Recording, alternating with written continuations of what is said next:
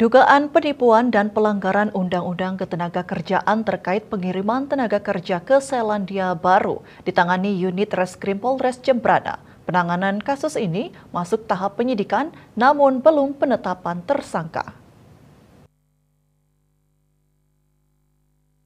Kasus ini mencuat setelah sejumlah naker yang telah menyetor uang puluhan juta rupiah kepada oknum di Lembaga Pelatihan Kerja LPK tidak kunjung diberangkatkan. Karena tak juga berangkat, ada naker yang melaporkan ke Polres. Kasat Reskrim Polres Jembrana AKP M. Reza Pranata mengatakan kasus ini masuk ke tahap penyidikan. Dari informasi, para korban ini rata-rata telah menyetor uang berkisar 35 juta per orang. Tapi, hingga saat ini janji untuk pemberangkatan ke Selandia Baru belum dilakukan. Selain itu, di awal, para calon pekerja migran Indonesia PMI 1 juga dibebankan biaya pendaftaran 4 juta. Para korban menyetor ada yang kepada LPK, juga ada ke agen yang merekrut.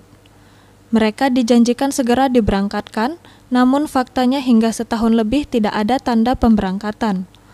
Bahkan kantor yang digunakan untuk aktivitas sudah tidak beroperasi. Sejatinya korban lebih dari 11 orang. Namun, beberapa di antara korban belum melapor menunggu itikat baik pihak terlapor mengembalikan uang mereka. Surya Dharma Bali Pos melaporkan.